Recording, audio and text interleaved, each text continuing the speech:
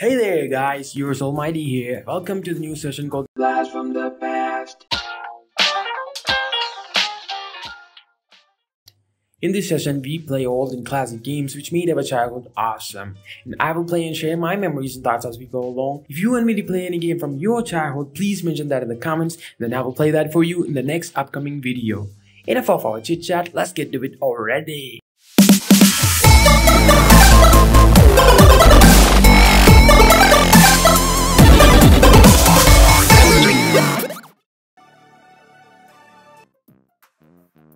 Today we are going to play Hamster Ball. Hamster Ball was released for Windows platform back in 2004 by Raptisoft Games and for PlayStation 3 in 2010 by Tick Games. As you can see, it's a hamster in a plastic ball. The player controls a hamster in a clear plastic ball. Obviously, the player can control the hamster using the mouse or using the keyboard, or in the case of PlayStation, your controller. The goal is to complete a series of race courses as soon as possible while avoiding various obstacles before the time runs out. At the beginning of each course, extra time will be added to the player's clock. You have to complete the course before the time runs out, or else you lose buddy. The graphics and the mechanics are pretty simple guys, and trust me, sometimes simple does the job. You know, I would anytime prefer a game with decent graphics and awesome gameplay over a game with extraordinary graphics hours and hours of pointless gameplay. I mean, what's the point? This game can be considered as a spiritual successor of an old arcade game called Marble Madness released back in 1984. It was designed by Mark Cerny and published by Atari Games. It was way ahead of its time, you know. It was known for using innovative game technologies. It was first of Ataris to use the Atari System 1 hardware, first to use the C programming language, and one of the first to use stereo sound. Every other game until this was using simulator stereo. This was a true game to use actual stereo sound. How cool was that? Talking about the gameplay, the player controls the marble by using the trackball. You know, the mouse back then with the ball. The player controls and guide the marble through six courses populated with obstacles and enemies within a time limit. Ring a bell? You see, Hamster Ball did exactly the same for changing the premise.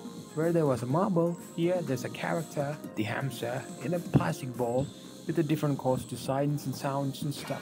But hey, good old game is always a good old game. I personally came across this game back in 2011 or 12. It was the time me and my brother took a Photoshop course in Jackson in my town. They had some pretty good games installed in their computer. After doing all the tasks they gave us, me and my brother played it all the time. That's where I found this gem. I pretty much sucked at it. Not dominating right now. There was always another player who put me to shame in this game. Yeah, you might think that was my brother, right? That's where we're wrong. It was actually a tutor there. I clearly remember him still. Every other tutors were wearing formals, and he was wearing jeans and shirts with bizarre design. He was a stud. You know, he was completely standing out from all the guys in that center. I would be playing and completely sucking at it.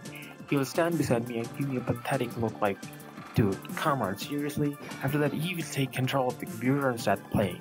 You guys should see him playing. He absolutely nails this game. I mean, not from this game. He absolutely nailed every single game in that PC.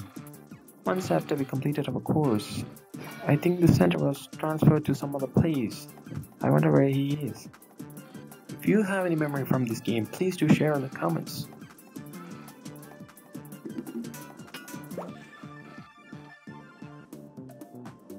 Alright my fellow knights, that's it for today. Thanks for watching. If you like the video, leave a thumb, share your thoughts in the comment section, and don't forget to subscribe and hit the bell icon. I will see you guys in another video. Until then, keep rocking.